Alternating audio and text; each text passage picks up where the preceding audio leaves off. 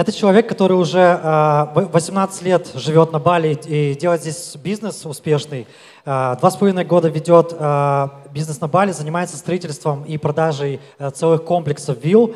И он выступит на тему, как заработать 1 миллион долларов за месяц. Прошу приветствовать на сцене Сергей Домогацкий. Итак, друзья, здесь было очень много крутых спикеров. Сейчас еще после меня будет Андре Фрай, владелец парку Буда. Это просто мега мозг, мой партнер. Э, супер классный, супер крутой.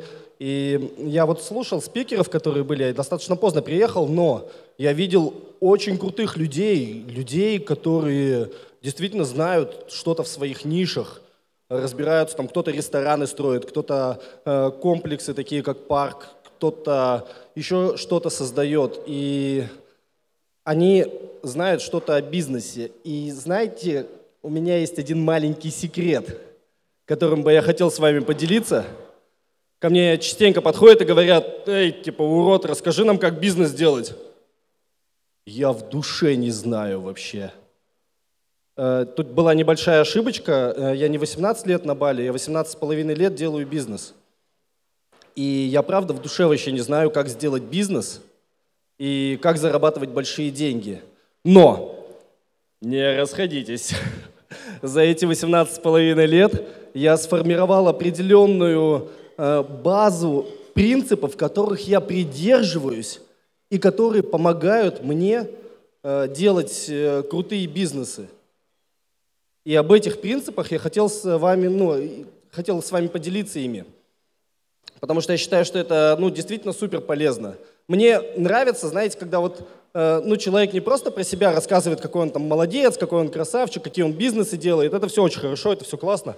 Э, еще лучше, я считаю, просто высший пилотаж, когда ты даешь людям супер полезную информацию – когда они посидели, потратили полчаса своей жизни, драгоценного своего времени, там кто-то еще деньги тратил, там бензин тратил э, для того, чтобы сюда приехать, и при этом он уходит отсюда и такой говорит, what the fuck, это было охренительно вообще. Вот я постараюсь сделать так, чтобы у вас было именно такое ощущение после этих э, 40 минут моего выступления. Кстати, будет 40 минут, я у Андрея забрал.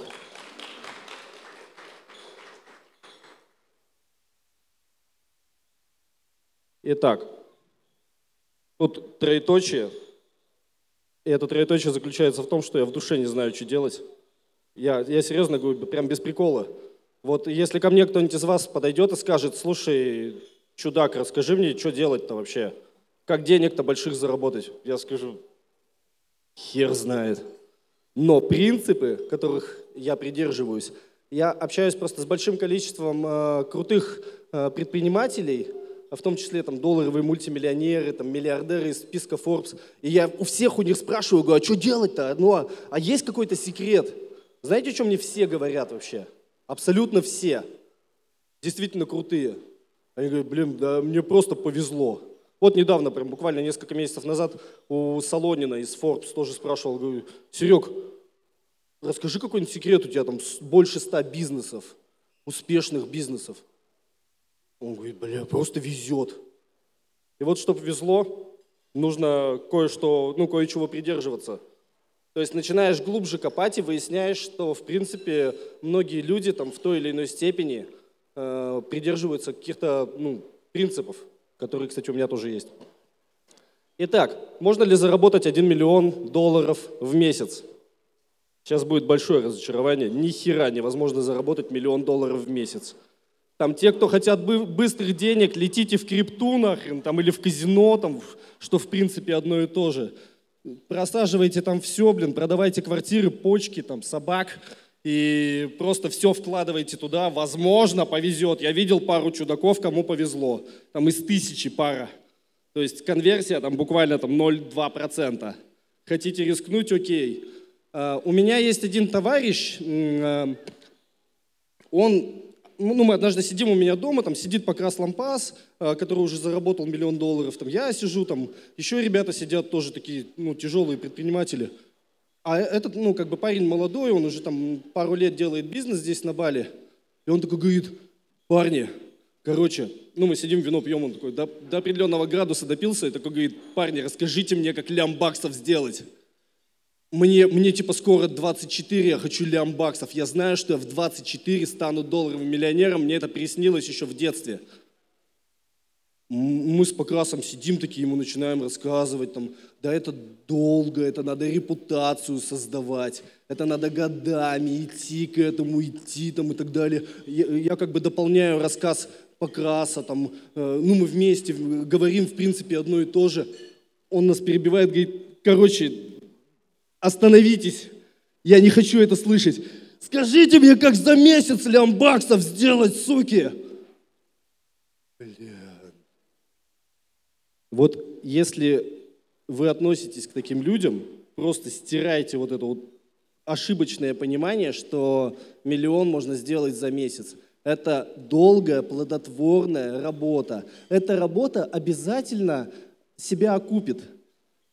Я вам даже больше скажу. Э, большинству людей, вот у которых, ну, там, допустим, там, э, цифра в доходе близка к нулю, если им сейчас дать миллион долларов, они с ума сойдут. И я видел таких людей, кстати, вот как раз криптонов, который там, бам, сделал 10 миллионов долларов на крипте, с ума сошел.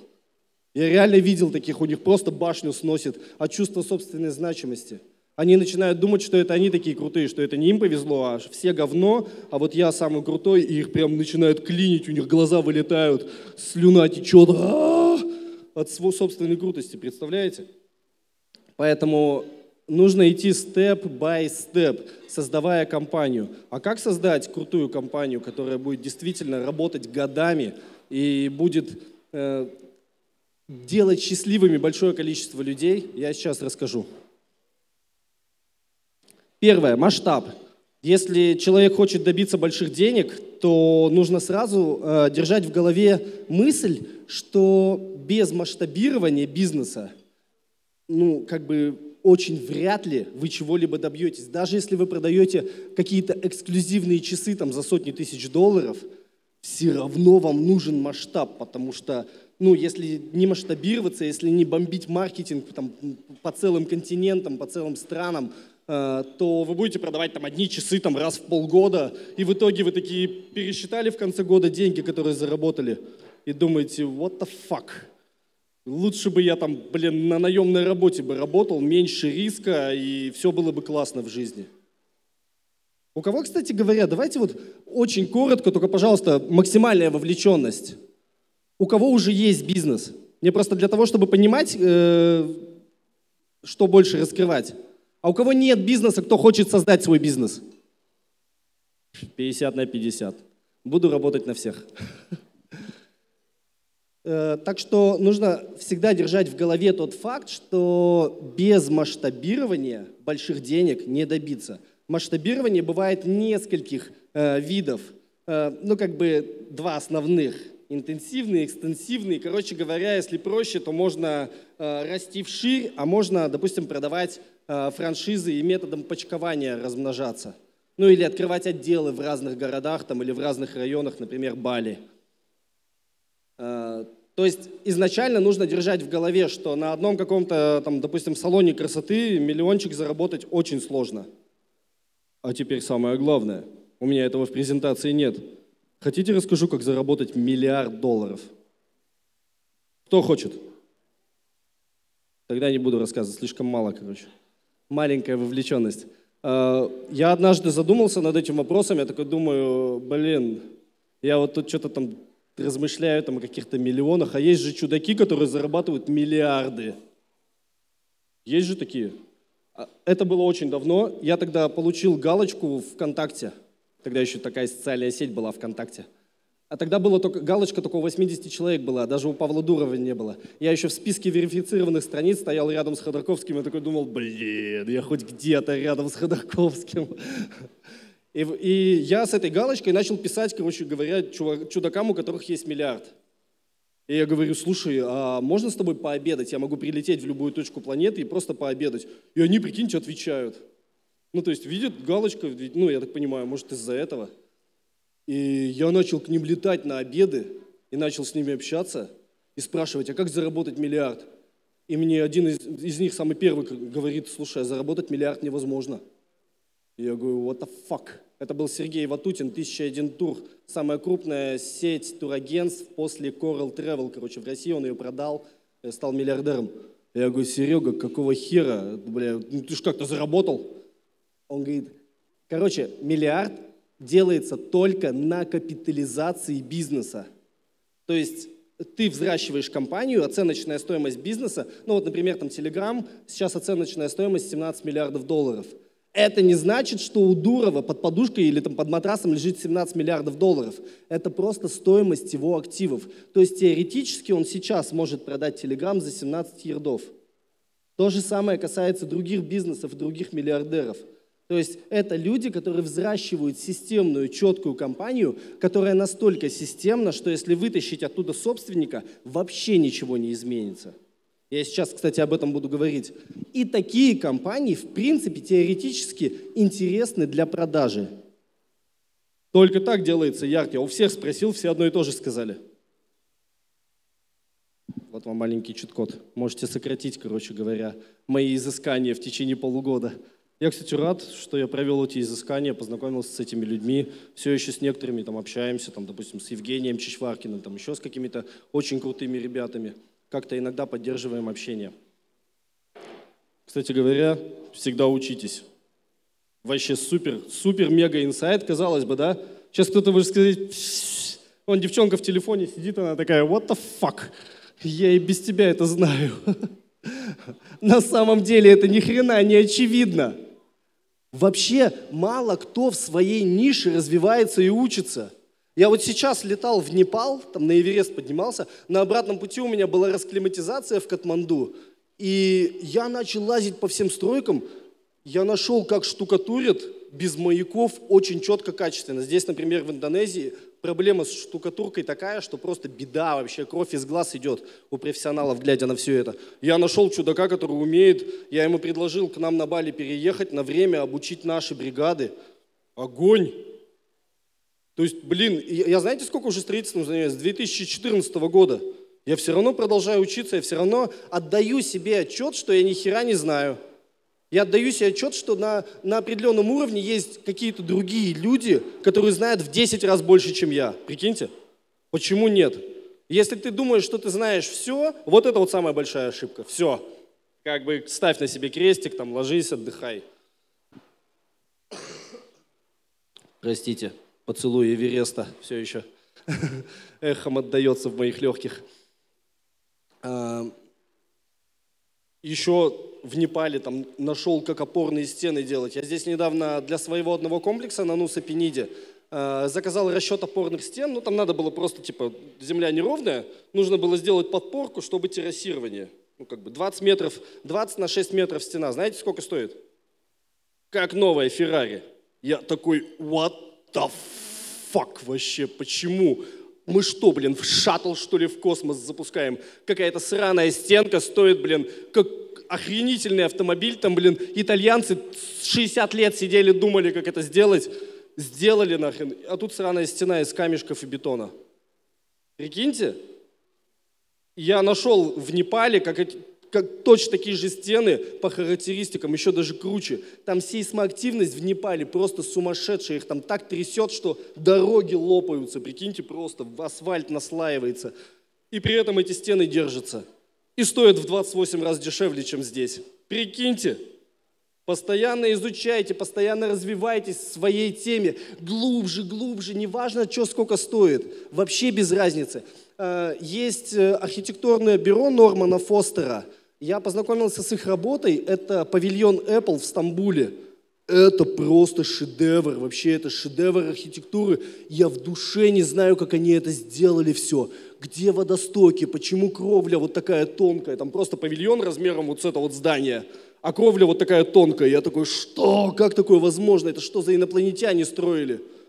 Я написал Норману Фостеру, я ему три раза писал, я говорю, пожалуйста, можно просто вам кофе приносите, я еще вам 100 тысяч долларов дам. Просто кофе буду носить, вот прям еще ноги буду мыть и массаж делать. Просто я хочу быть рядом с вами в э, архитектурном бюро в вашем в Лондоне. Он ответил, говорит, можно. Я сейчас делаю себе визу в Британию и осенью лечу в августе.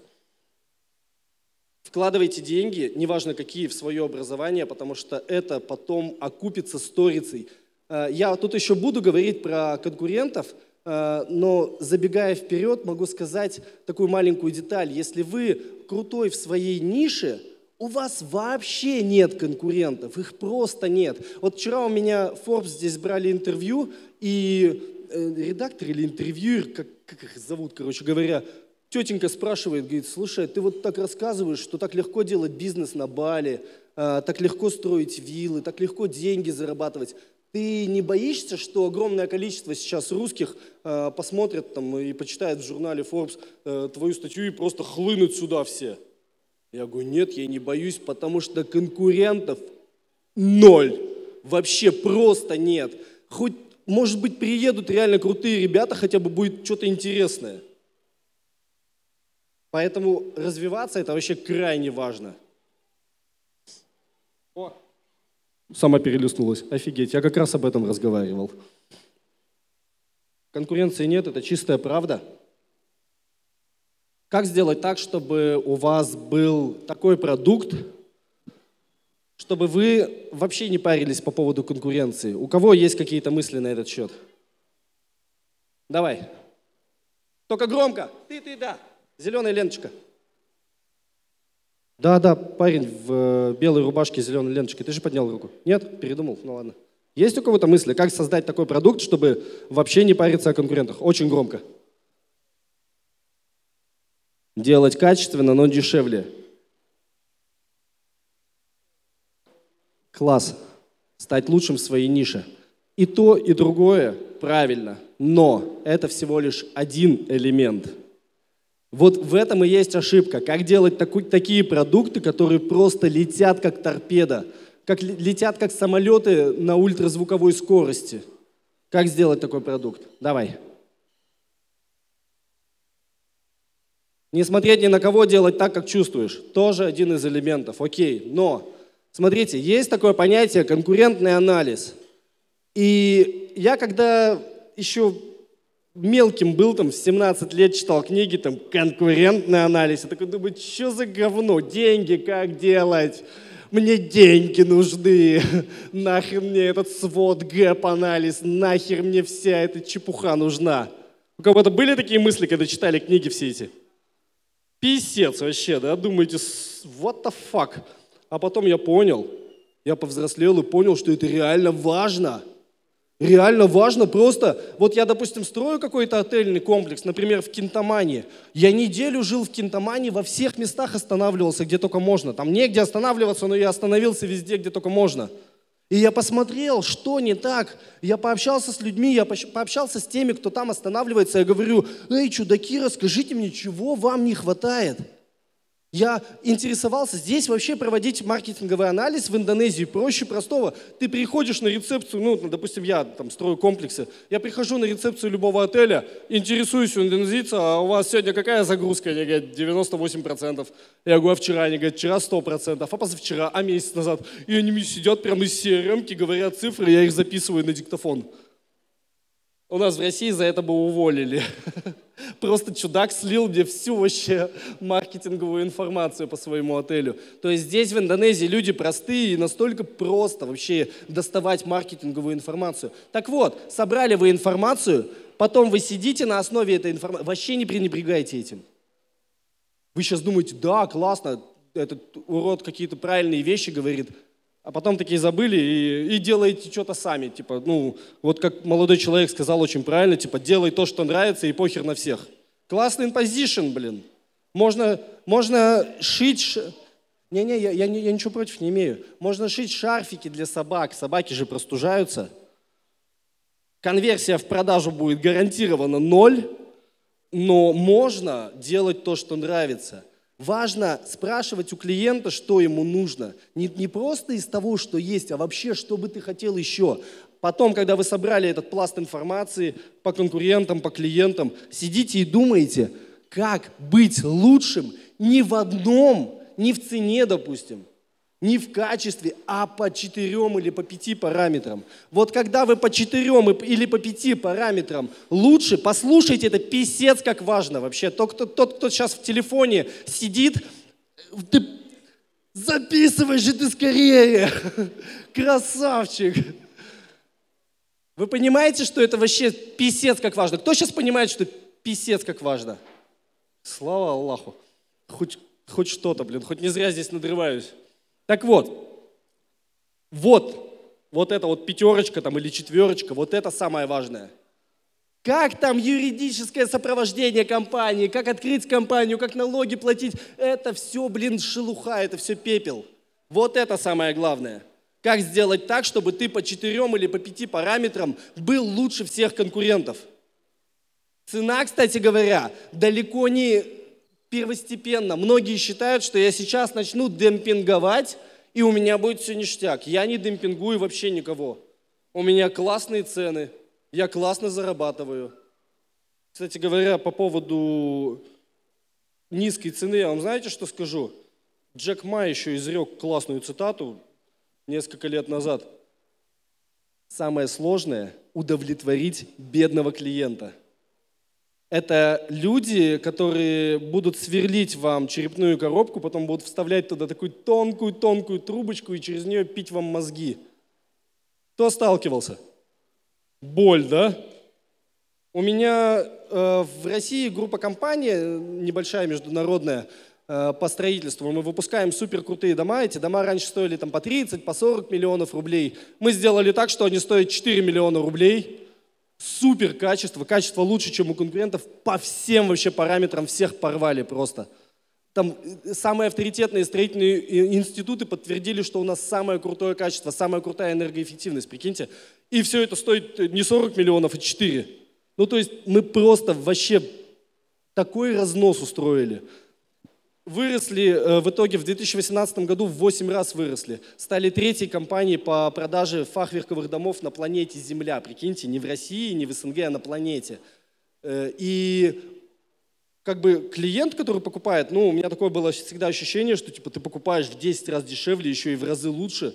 Должен быть, э, ну, как-то какое-то понимание, да. У меня недавно был клиент, который написал у себя в Инстаграме, мне стеклопакеты на две недели задержали, за 4 миллиона купил дом, на две недели задержали стеклопакеты, а еще вот здесь трещинка на брусе, брус, как бы живой материал, который имеет э, там, динамические расширения в зависимости от влажности, то есть ну, трещинка на брусе, прикиньте. Он говорит, я ненавижу этих уродов вообще просто. Я объявляю им информационную войну, я буду весь интернет заваливать э, отзывами и так далее. Прикиньте? Я такой, what the fuck? Ты купил самый крутой вообще в мире продукт за 4 миллиона рублей просто по цене, блин, э, однушки в Конаково нахрен. И ты еще решил уничтожить как бы компанию, которая тебе сделала, создала этот продукт. Это, мне так было прям неприятно вообще. Я таких уже видел несколько раз чудаков, которые просто... Здесь у меня есть э, клиенты, которые там по 400 тысяч долларов отдают за виллы. У меня есть один клиент, э, Костя, полтора миллиона долларов недавно просто перевел без договора, вообще несколько вилл сразу купил. Костя даже ни разу не спросил там, а что там, как... я, я ушел там на Эверест на месяц, нахрен, что там постройки, я там даже никакие отчеты не писал, у меня голова вот такая квадратная была, мне там вообще не до этого было. Костя даже ни разу не пикнул вообще, и другие никто ничего не сказал. Почему нет отчетов со стройки? Хотя я, в принципе, вообще не должен их предоставлять. Сказал, в декабре будет построен комплекс, значит, в декабре будет построен. И вот эти люди, которые отдают по 400 тысяч долларов, они почему-то самые приятные люди на свете. Мы с ними встречаемся в кафешках, мы с ними обнимаемся, мы там гуляем с их детьми, с ними как-то супер приятно. Запомните, пожалуйста, это. И если вы видите чудака, который не ценит то, что вы создали, вот эти вот там пять пунктов и самую еще и классную цену, например, там и так далее. Если вы видите такого чудака, лучше скажите ему, братишка, слушай, у меня, короче, отличные для тебя новости. Мы с тобой расстаемся. Если вы видите, что мозг клюет, как дятел – лучше расстаньтесь. У меня были случаи как раз э, в России, там строили одному чудаку э, дом, он как нам давай мозги сверлить. Я звоню, просто говорю, короче, ребят, разбирайте дом. И они просто взяли, разобрали, уехали, фундамент мы ему подарили. Бесплатно. Потому что проще этот фундамент там за 800 тысяч рублей подарить, чем он потом нам столько мозгов сделает, что просто, ну нафиг. Вот крайне рекомендую прислушаться э, к этой теме. Конечно, это не значит, что вы всех должны теперь нафиг посылать, хотя у меня есть один такой товарищ, очень крутой предприниматель. Если только ему кто-то начинает мозг клевать, хотя бы маленькая капелька э, мозгоклевства начала там э, покапывать, он такой сразу говорит, пошли нафиг, и все. Это потрясающе. Я один раз присутствовал при таком диалоге, это было просто потрясающе. Он говорит, не пошли нафиг, он говорит по-другому, еще жестче, там, с употреблением буквы «Х» в начале. Я такой, что? Клиент такой, не-не-не, вы неправильно поняли, простите, простите, пожалуйста. Знаете, может, Алексей Земсков такой? Кто-нибудь слышал такого? О, вот это он. Так разговаривать с клиентами вообще не имел. Просто вообще маньяк какой-то. Клиент потом ему полчаса просил прощения, чтобы остаться с ним. Потому что парень делает очень крутой продукт. Так, что-то там опять пролисталось. Кто там листает? Господа. А как назад сделать? Вижу. О. По поводу конкуренции. Смотрите, это мой комплекс э, Reflection Deep Sky в Кинтамане – я его строю для себя, просто для сдачи в аренду. Вот я проанализировал все, что есть в кинтамане, а там ни хрена вообще нет. Можно было просто построить что-нибудь и точно бы залетело, вот прям сто пудов. Но если бы завтра Кемпинский бы решил открыть филиальчик в Кинтамане, он бы меня отодрал бы так, как сейчас. Кто был вообще в Кемпинске? Были кто-нибудь? Рядом Хилтон стоит. Хилтон как это сказать? Как сказать соснул э, по-другому? А. Хилтон гигантский комплекс, просто гигантский, вообще со своим пляжем, дорогущая земля. Рядом Кемпинский открылся, в Хилтоне ни души практически, там одни бомжи остаются сейчас. Потому что Кемпинский создал действительно пушку, подводный ресторан, там террасирование из этих вилл, зеленые кровли, потрясающий вид, там все классно. Ты ходишь и ты преисполняешься. Кто не был, обязательно съездите и посмотрите, как создают продукт, вот как раз там 4-5 из, из 5. А, и если бы Кемпинский открылся бы рядом с нами бы в Кентамании, мы бы вот это вот бы сделали, вот этот процесс э, сосательный. Поэтому мне не хотелось. Вот сейчас, если Кемпинский откроется, то они сделают это, а не мы. Потому что наши виллы, это реально будет, ну, это просто супер пушка. А, чтобы понимать, вот эта стеклянная кровля, стеклянная кровля, вот это соединение стекол без стоек, без ригелей. Мы три месяца думали над тем, как соединить без стоек и без ригелей. Мне технические специалисты говорили, это невозможно. Я говорил, идите нахрен. Возможно все. В итоге, чтобы днем не было жарко, у нас нажимаешь на кнопочку возле кровати, у тебя кровля закрывается, стеклянная, из черного стекла, красивого кровля, просто закрывается, и у тебя комфортно на вилле. Мы такую пушку сделали, что мы еще не достроили комплекс, у нас уже в Инстаграме 17 тысяч подписчиков, э, Reflection Deep Sky можете набрать в э, Инстаграме, 17 тысяч подписчиков, и архитекторы, дизайнеры, э, там индонезийцы, там какие-то богатые нам пишут просто, нас реально все знают. Еще ни хрена не сделали, уже все знают об этом комплексе. Меня люди на улице в Джакарте встречают и говорят, Дамагатский, Reflection Deep Sky, индонезийцы, прикиньте. Я такой, what the fuck, прикольно. То есть делать надо продукты вот как раз вне конкуренции. Вот это один из примеров. Я вообще не боюсь конкуренции, мне вообще плевать. Пусть что хотят рядом строят, они даже побоятся, мне кажется. Дай бог. Это э, я на Нусапениде делаю тоже комплекс небольшой, э, такой бутик-отель, э, комплекс виллы с 9 вилл и ресторан. И там очень жесткий уклон, и приняли решение, Андрей, кстати говоря, порекомендовал, говорит, запилите бассейн на крыше. Я говорю, прикольно и назвал комплекс Reflection Heavens, потому что с определенного ракурса э, эти бассейны на крыше отражают небо, то есть ну, отражение небес, Reflection Heavens. Тоже очень классный проект, очень люблю его. И каждый свой новый проект, когда я разрабатываю, э, как архитектор, хотя я на самом деле не архитектор, у меня вообще 7 классов сельской школы образования, и я вообще не шучу ни разу. Я в восьмом классе бросил школу, у меня вообще нет никакого образования, даже ПТУ. И я как бы, ну, называю себя незаконно архитектором. И когда я вот я разрабатываю новый проект, я сижу такой и думаю, так, у меня есть Reflection Deep Sky, у меня есть Reflection Heavens, у меня там 186 вилл в парку Буди продано, мы вот здесь вот сейчас вот эти все поля застраиваем. И я такой думаю, так, а что еще круче сделать? То есть каждый новый продукт должен быть круче, он не должен быть посредственностью. Если твой новый продукт посредственность, значит, ты просто теряешь время, э, ну, как, как творческий человек. Для меня бизнес – это творчество. Для меня это не просто тупо зарабатывание денег. Для меня, как для художника, для архитектора, э, это, ну, такая самореализация. То есть, если я протупил и сделал следующий проект более простым, так скажем, значит, я потерял время – Значит, я не сработал на свое имя и на свою репутацию, потому что э, со мной крупные девелоперы, инвесторы хотят работать, потому что я вот такие вот штуки делаю. Потому что я люблю свое дело, и это видно в моих продуктах, как я люблю свое дело и как я в него вкладываюсь. И я считаю, что для каждого из вас, неважно, чем вы занимаетесь, онлайн-школами, там, разведением э, той пуделей, кудряшками или э, ногтевым сервисом, не имеет значения. Важно любить свое дело – Девчонка, кстати, есть одна в Чангу. Блин, как-то зовут не Агата. Ногтями занимается. Ее вообще все знают. Так любит свое дело. Как зовут девчонку эту? Влада, во. Охрей, пацан сказал, кстати. Я тоже делаю маникюр, братан.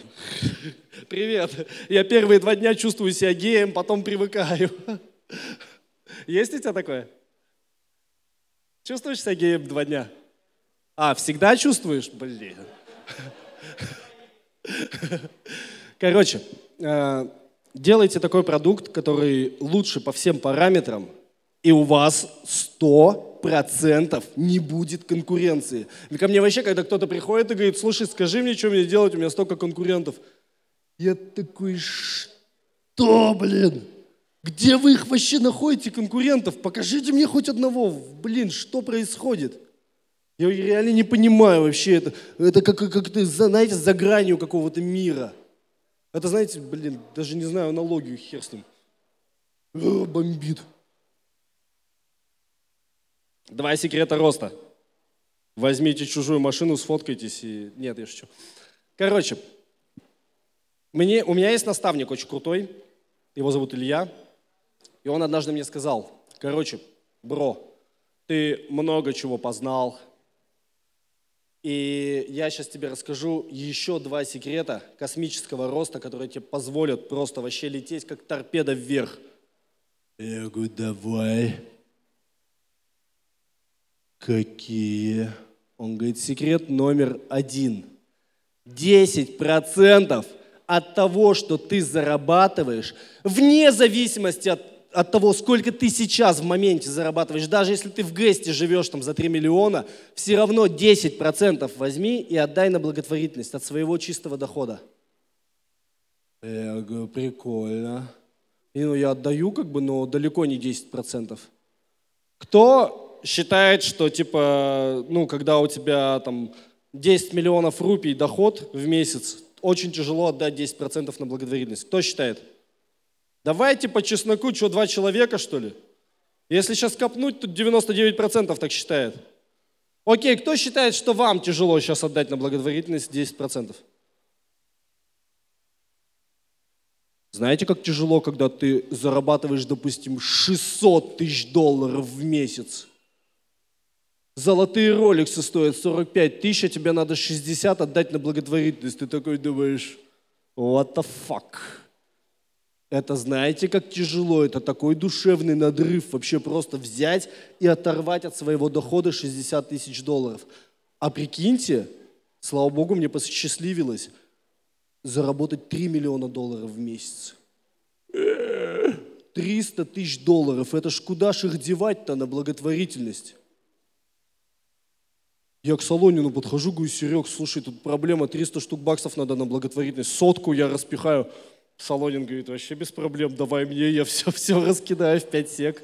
А хочется же, чтобы э, как бы адресная помощь была, ну, конкретная, то есть, чтобы ты знал точно, что пошло по, по ну, как бы, э, что дошло до адресата. Потому что, блин, Нежелательно, когда ты отдаешь свои деньги от души э, в помощь людям, и они не доходят. А, кстати говоря, если кто-то из вас знает людей, у которых тяжелая ситуация, э, которые вынужденные беженцы, и у них прям, ну, прям жесть, им некуда вернуться, потому что там просто труха, и у них здесь сейчас тяжелое положение, дайте им мой контакт, пожалуйста. Пускай мне напишут, я помогаю таким людям. Спасибо. Это был первый секрет, 10% на благотворительность. Второй секрет. Это касается парней.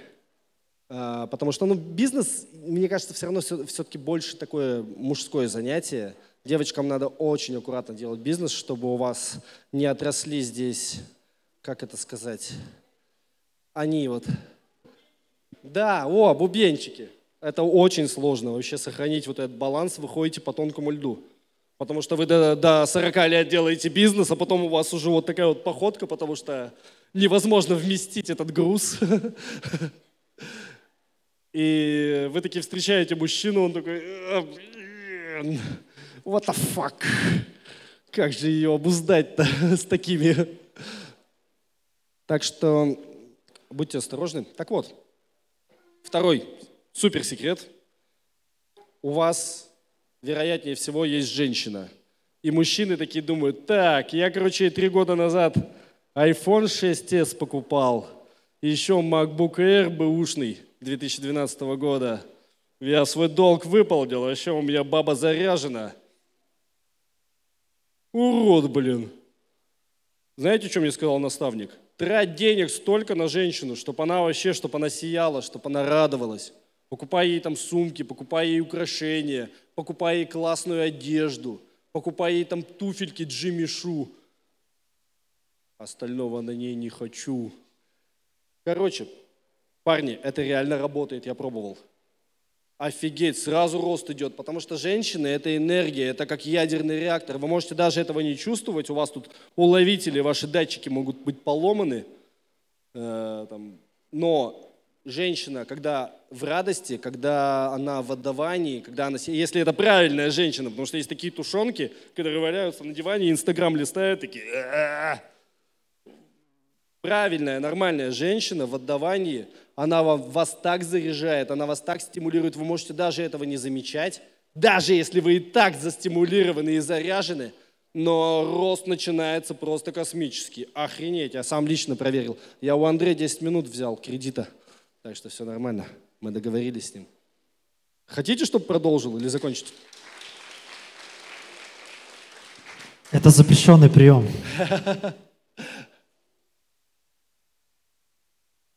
Соцсети. Кто качает соцсети? Все! Вы что, охренели? Я что-то не пойму, вы спите или вы не качаете соцсети? Ну-ка давайте, кто качает соцсети? Короче, я встречаю иногда чудаков, которые делают бизнес э, без соцсетей. И я такой думаю, как вы вообще это делаете? Что с вами? Как-то как же у вас еще и что-то делается? Вы там через тернии ползете, все обцарапываетесь, все в боли, в печали. Как, каким-то образом у вас это получается. Соцсети, на мой взгляд, очень важны, причем для любого бизнеса. Я видел, как люди там песок продают через Инстаграм. Там какие-то фундаменты продают через YouTube. Вообще просто шарашат, как не в себя. Плинтусы там продают. Чего только не продают вообще. Просто качайте соцсети. А, моя рекомендация – это субъективно – очень круто работает YouTube. То есть я проводил прям аналитику, срезал прям все соцсети. У меня там на YouTube 350 тысяч подписчиков, там в Инстаграме там что-то 500 тысяч, ВКонтакте 500 тысяч. Ну, короче говоря, там в общей сложности там где-то полтора миллиона собирается. Я вот брал все соцсети и смотрел, откуда больше всего именно покупателей. Не просто подписчиков, а именно покупателей.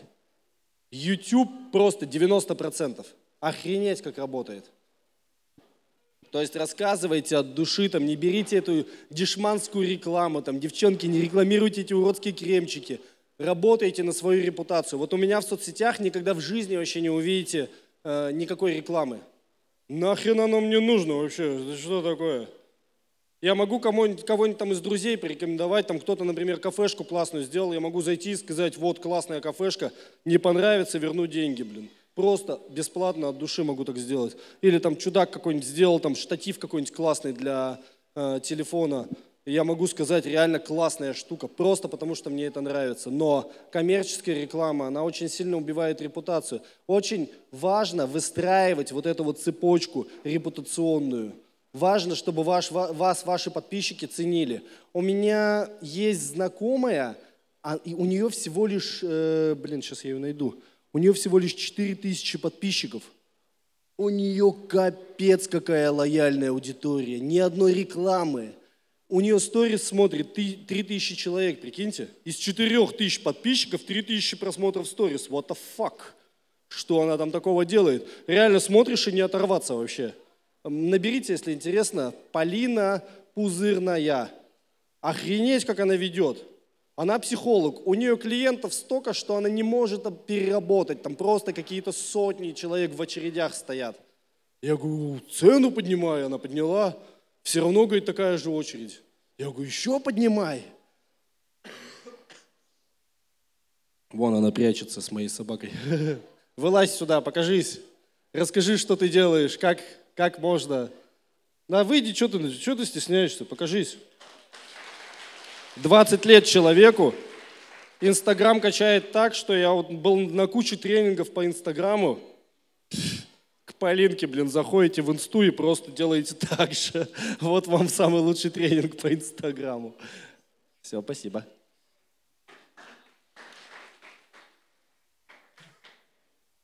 Честно, я не знаю, как э, раскачивать соцсети. Делаешь просто от души, даешь максимально полезности. Вот то же самое, как-то вот, вот ты пришел на конференцию, кто-то пришел и там рассказывает про свой продукт рекламирует себя там и говорит, какой он красавчик. А кто-то приходит и действительно дает крутые вещи. Вот сейчас Андре будет после меня. Охренеете вообще, просто. Такой поток. Прикиньте, у человека ну, он, он долларовый мультимиллионер, то есть десятки миллионов долларов. И он сидит бесплатно часами, рассказывает о том, как делать бизнес э, там, людям, которые, в принципе, ну, ему это вообще нахрен не надо все. Представляете вообще, как люди пользу дают? Тот же самый принцип применяете в социальных сетях. Давайте максимально пользы бесплатно. Потом ваши клиенты скажут вам спасибо. Если у вас еще пока нет ниши и вы не знаете, что качать, просто качайте себя, просто личный бренд, просто рассказывайте про себя, рассказывайте, что вы мыслите, какие, там, какие у вас инсайты были в жизни. Если вы думаете, что это никому не интересно, мне тоже кажется, что типа вот то, что я сейчас вам рассказываю, это же всем понятно, да? Вот, оказывается, нет. Поэтому качайте, рассказывайте, Самое крутое сейчас в наше время – это личный бренд. Вы обратили внимание, еще лет 10 назад компании там Nike, Puma, Reebok, э, там различные там, Oppo, Xiaomi там, и так далее, они начали не свой бренд рекламировать, они начали брать амбассадоров, то есть лица людей. А знаете, почему так происходит? Даже прикиньте, у, у, у, у, Камчат, у Камчатки даже есть амбассадор, мой знакомый известный фотограф, он амбассадор Камчатки, официально у него договор с э, правительством. Прикиньте. Почему? Нахрена Камчатке нужно чье-то лицо? Нахрена там э, Xiaomi нужны, нужны чьи-то лица там, или Nike? Это же супер бренд. Потому что люди перестали верить брендам. Кто из вас постарше, мы все помним эту скандальную историю из 90-х, когда все пили кофе, Якобс, там, Нескафе, там еще какое-то. А потом по телевизору выходит реклама, тогда все смотрели телевизор. Сто процентов людей на планете смотрели телевизор. Выходит реклама типа «Сорви с банки Нескафе три мембраны, отправь ее нам почтой, мы тебе обратно отправим крутую красную кружку». Тогда ни у кого не было красных кружек классных, вообще не было кружек. Вообще 90-е это была печаль. И, и все такие думают, сука, я же все равно кофе пью, буду вот теперь Нескафе пить и мембраны эти отправлять. У меня все знакомые отправили, у вас тоже все знакомые отправили, даже если вы забыли, вы сами отправляли. Ни одному сраному человеку не пришла эта сраная кружка, прикиньте. Они кинули всю страну, уроды. Нестле. Нескафе, такой крупный бренд, просто обесценили. Все. Потом со временем раз кинули, два, пять, десять, всех кидали. И у людей начало ассоциироваться слово маркетинг и слово реклама с лохотроном. Вы ведь наверняка где-нибудь э, читали там сообщения там, или вам приходили комментарии, а, это реклама, а, это лохот, ну, ну типа это, это маркетинг. Ну, они, они типа, по контексту понятно, что они подразумевают, что типа лохотрон. Прикиньте, насколько вообще исказили вообще рекламу, бренд, насколько обосрали вообще все вот этими поступками, что они потом начали брать просто лица, потому что они поняли, что бренды не работают, они начали брать лица, начали брать амбассадоров – Поэтому качайте свое лицо. Ваше лицо – это самое крутое, что у вас есть. Вы можете сейчас заниматься ногтевым сервисом, а завтра недвижку в Дубае продавать. Ваше лицо остается, не имеет значения вообще, чем вы сейчас занимаетесь. Главное, там не только ногти фоткайте в Инстаграм, или не только там виллы там, или дома – или там, если вы там, допустим, сервисом по сдаче автомобилей в аренду занимаетесь, не фотографируйте только автомобили, фоткайте еще и себя, потому что завтра сменили нишу, поудаляли эти фотки с автомобилями, вы остались. Классно, люди проходят в ленту, видят, что вы давно здесь, и что куча народу на вас подписана, и куча крутых постов. Я, кстати, недавно смекнул, оказывается, старые посты там годичные или двухгодичной давности, крутые посты, которые залетали. Их можно копировать, заново размещать, те удалять. Я недавно так сделал, у меня 13 тысяч э, лайков набрал такой пост, я такой думаю, прикольно. Люди, потому что не, не, ну, редко свайпают далеко-далеко вниз. Рабочая схема. Возьмите на заметку.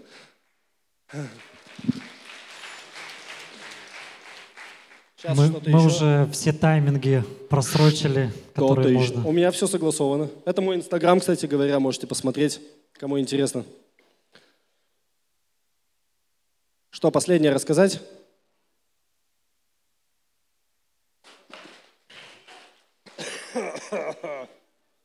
Что-то как-то очень тухло. Давайте.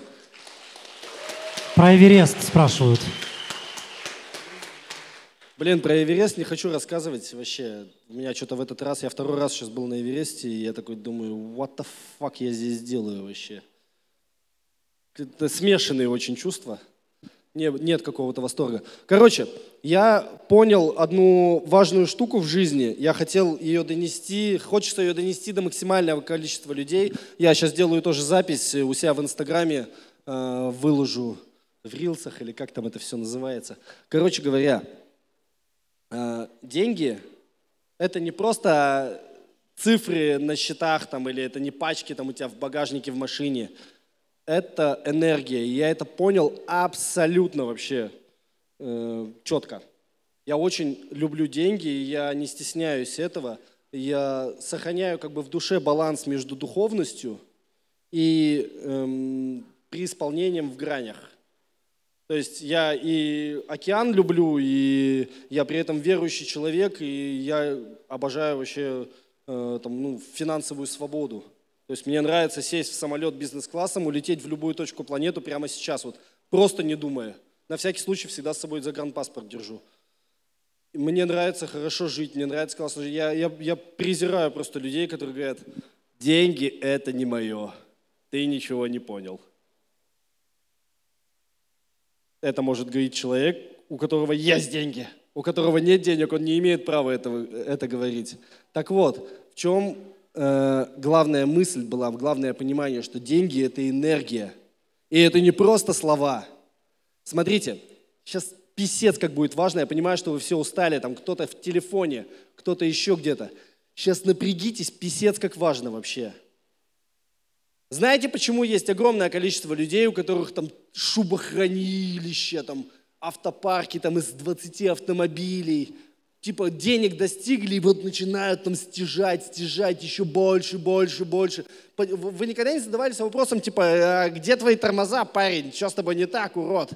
Там даже десятой части или там сотой части от твоего э, состояния достаточно для того, чтобы быть предельно счастливым. Знаете, почему они несчастливы? Почему они вот это вот все, вот это стяжанием этим занимаются? Они не чувствуют удовольствия от денег – они покупают, э, там, допустим, какой-то суперкар, там, какой-нибудь Бугатти, и не чувствуют кайфа. Они покупают там мороженое, кушают и, блин, не чувствуют кайфа, не чувствуют вкуса. Даже в Ветхом Завете было написано «дома из тесанных камней», а тогда тесанные камни это были самые топовые дома. «Дома из тесанных камней построите вы, но жить в них не будете». Виноградники сладкие взростите, но вкуса от вина не будете чувствовать. Прикиньте, какая супер истина вообще там заложена в этих словах. Они едят и не чувствуют вкуса. Они покупают самолеты, яхты и не чувствуют кайфа. А знаете почему так? Потому что очень важно создавать такой продукт, от которого люди кайфуют.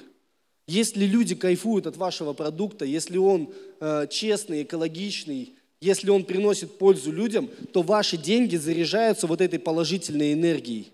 То есть человек вам отдает заряженные деньги, он счастлив от того, что он с вами в сделке, он счастлив от того, что он у вас купил. Это самое крутое вообще. То есть у вас может быть там, ну, немного денег, там, допустим, там, ну, не, миллион долларов. Кто-то, кто скажет, что, типа, до хера?